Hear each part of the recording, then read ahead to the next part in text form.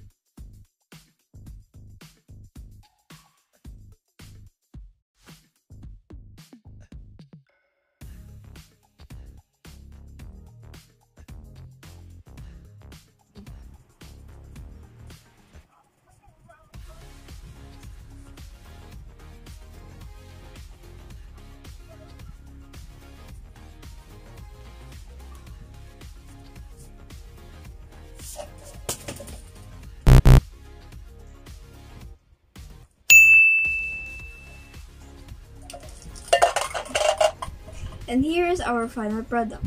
Thank you for watching. I hope you like this video. Bye!